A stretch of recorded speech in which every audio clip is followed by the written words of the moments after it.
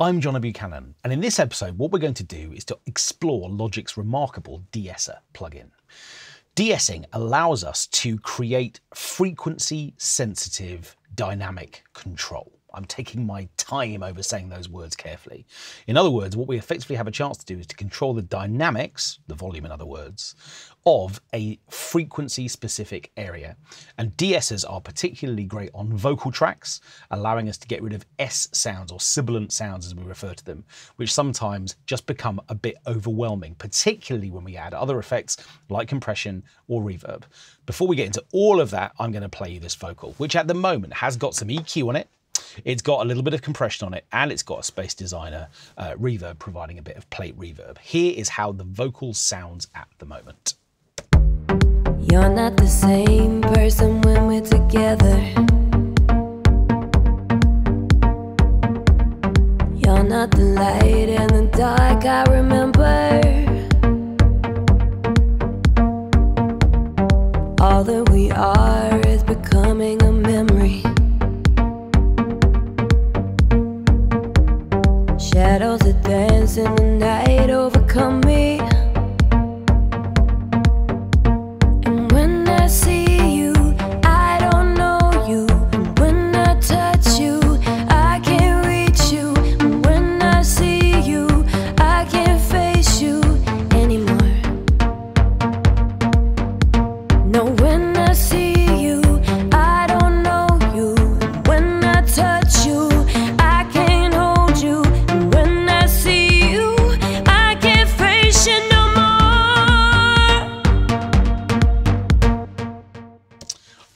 Now what we're going to do is to focus on this section of the song where, in this kind of pre-chorusy section, what we do is to get into a section of the vocals which contain quite a lot of S sounds. Let's just listen to it again. And when I see you, I don't know you. And when I touch you, I can't reach you. Okay, so in those four lines alone, we can hear a lot of that kind of S sound. Now, that's sort of fine, but what frequencies like these S sounds tend to do is to feel quite harsh. And often what happens is that they directly fight something that we usually kind of want to do to the brightness of vocals within our tracks. So often when it comes to EQing vocals, if they've been recorded nicely, is that what we want in a track like this is to open up the air and the brightness and the fizz and the wonder and the magic. And often what that means is that what we want to do, as I'm sure I have done on this vocal, sure enough, is to give a little uplift to the upper frequency content. So towards the top end where all of the air is, what we want is to feel this kind of excitement. The only problem with that is that we suddenly potentially make sounds brighter, and in doing that, we shine a light on the S sounds, the sibilant sounds, which otherwise overwhelm the mix. So, what we want to do is to find a way of being able to control the volume of those S sounds without affecting the overall EQ. Now, the next thing to consider is that sometimes a sibilant sound might produce a little bit of a problem, but the next sibilant sound, which is maybe even louder, creates even more of a problem. So a regular EQ is okay, but what it's going to do is to take the frequency area that we want to be attenuating or dropping the volume of and drop it by a fixed amount. Let's say three decibels. Well, that's going to sound fine for the bits of sibilance that are only 3 dB too loud.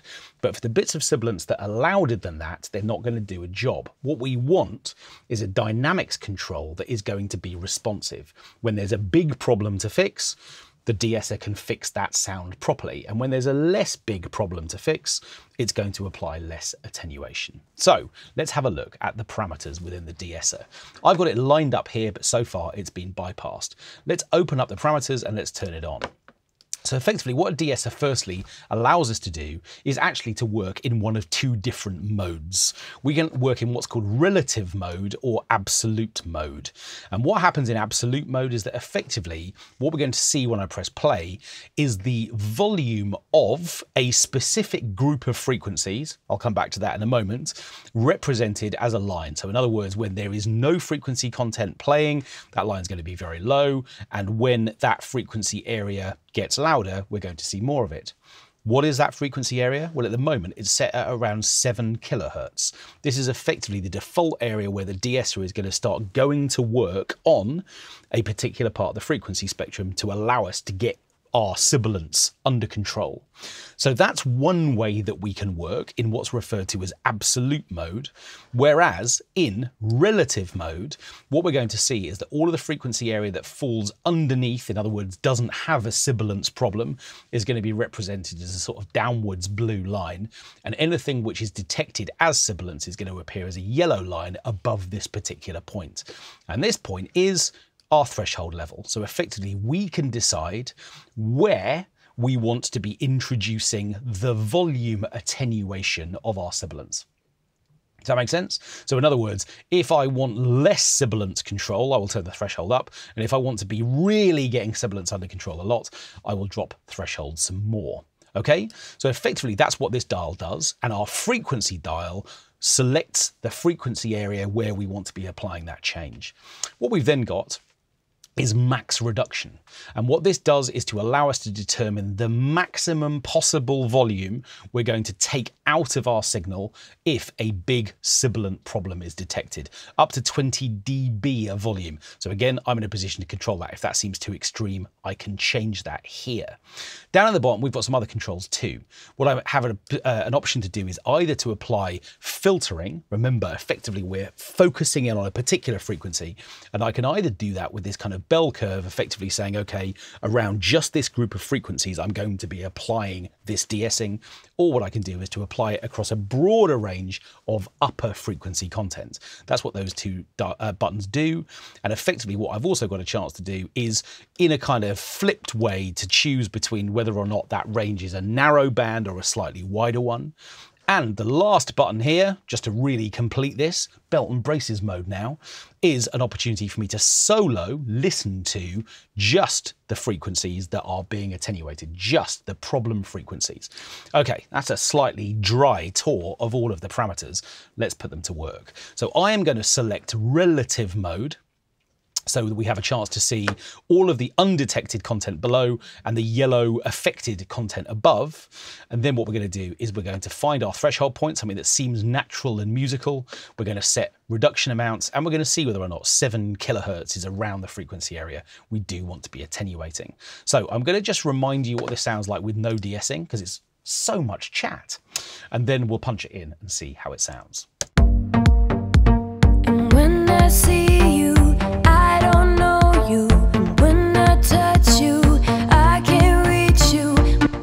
Now we're going to just focus on these four bars because this word see, when I see you, is one particularly sibilant moment, which I'm keen to sort of shine a bit of a light on. Let's just have a listen now with the de-essing applied. When I see you, I don't know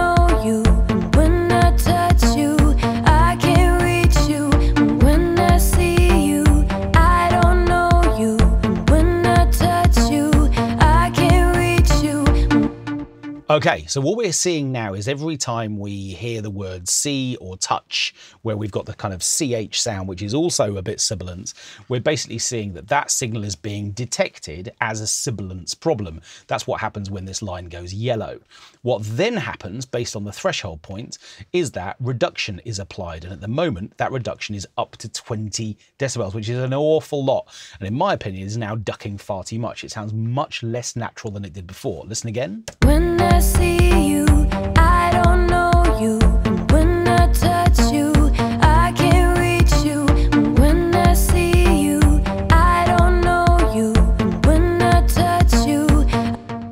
So it's doing a job, we're getting rid of the sibilants, but it sounds much less natural. So how could we fix that? Well, there are two ways. Firstly, we can increase the threshold point so that less signal is detected. And what we can also do is to change the amount of reduction so that rather than taking up to 20 dB of volume out of the signal, we're only taking up to six. And that's going to produce a much less radical result. when I see you,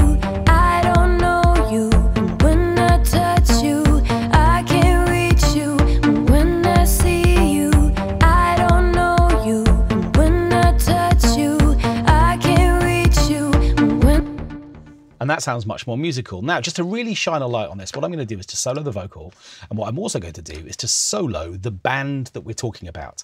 Now, remember, at the moment, I'm using this kind of bell curve, which means that we are listening to frequencies inside a particular frequency area.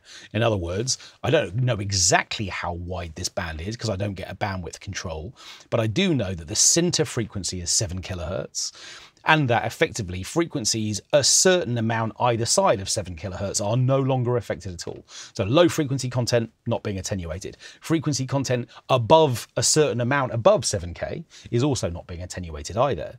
But what we have a chance to do is to actually find whether or not this default value of 7 kilohertz is around the right frequency. Now what I mean by that is that not everybody's S sounds are at the same frequency. Some people have got very resonant, really high frequency S sounds, and other people's are a bit lower and a bit more like shh, this kind of frequency. It's nice to do different white noises. Sorry, but it's just fun. And effectively, different singers have different sibilant areas. So, whilst it's great that Logic's put us in this kind of 7K range, might not be where my singer is sibilant. Let's have a listen. When I touch you, I can't reach you. When I see you, I don't know you. When I touch you, I can't reach you. When I see you, I don't know you. And when I touch you, I can't reach you. When I see you, I don't know you. And when I touch you, I can't reach you. And when I see you, I don't know you. And when I touch you, I can't reach you. And when I see you, I don't know you. And when I touch you, I can't reach you. So that's really interesting. So effectively, what we have a chance to do is to recognize that sibilance presents itself in different frequency bands. So there's a big difference between when I see you and then the kind of resonant touch you at the end of that particular word. And so we've got a bit of a decision to make. Which one of those two things are we going after? Now, to my ears, the touch and the kind of resonance of that is a bit more extreme and yet at the same time i don't want to be compromising on the kind of musicality of it. So again no fixed answer no right way to do this but i guess if what i wanted to do was to attack both of those problems i might switch out of a bell mode and instead use this high frequency mode which is effectively saying or this high shelf mode i should say which is saying okay well above a certain point i'm going to be attenuating frequency content all of which i see as a problem the I in that context is logic. I'm speaking as logic now. Effectively, I feel like I've earned the right to do that. I'm going to just say it. So, effectively, above a certain frequency, what we're doing is we're basically sort of saying, okay, well, all frequency content is going to be attenuated as opposed to just a fixed bandwidth amount around a certain frequency. Let's hear that as well.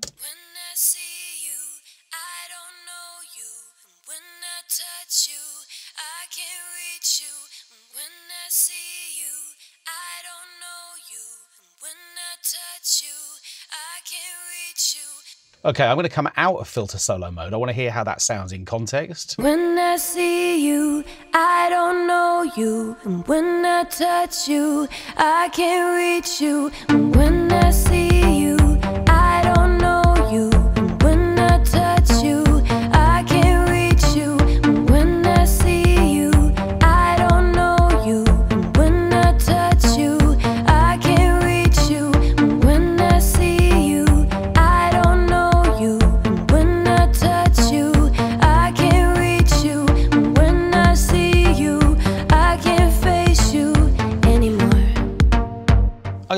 I think is sounding a little bit more natural. This is one of those processes, however, where our ear is drawn to the ultra shiny top end because that's the thing that we're trying to attenuate and go after a little bit. And so objectivity is really easily lost. I guarantee you, if you're working with a de-esser, that the settings that make sense at five o'clock on a Tuesday afternoon will make a lot less sense on a Wednesday morning first thing. So be ready to make those adjustments. But I am going to press play and listen all the way through and just see how our de-esser is sounding with these settings things through the verse and that kind of pre-chorus section. You're not the same person when we're together. You're not the light in the dark I remember. All that we are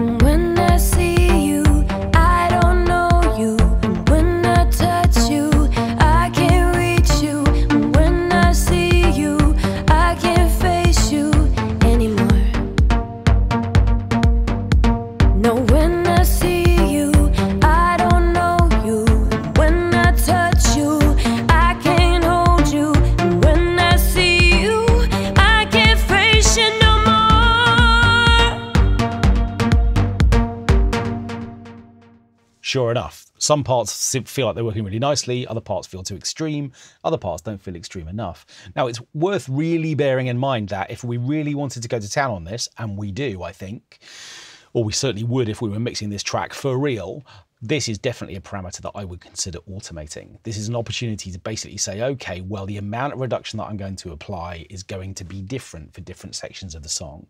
So the word shadows in the first verse felt like it was really unnaturally clipped from a volume perspective, but actually some of this is working really nicely on the section that we targeted. So hopefully in terms of the parameters that are available to you within the de-esser, this all now makes a little bit more sense and you can see how musically it can be applied.